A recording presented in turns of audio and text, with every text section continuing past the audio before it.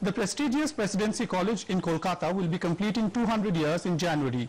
One of the premier educational institutions of the country, Presidency College began its journey on the 20th of January 1817. It was known as Hindu College then.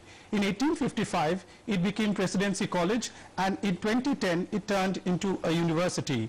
Addressing a press conference today, Vice Chancellor Professor Anuradha Lohia unveiled a logo and spoke about the heritage of the educational institution which has produced students like Acharya Jagadish Chandra Bose, Netaji Subhash Chandra Bose, Professor Amartya Sen, Satyajit Ray and others. She said the 200-year celebrations will be addressed by at least five to six Nobel Prize winners. The inaugural program will be addressed by the President of India Pranab Mukherjee, Chief Minister Mamata Banerjee and others.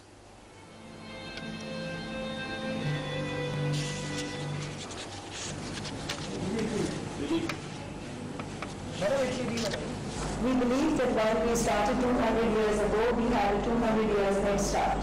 But this 200 does not have a finite life. What is going to happen is presidency, starting from Hindu College, is going to extend into infinity for time to come.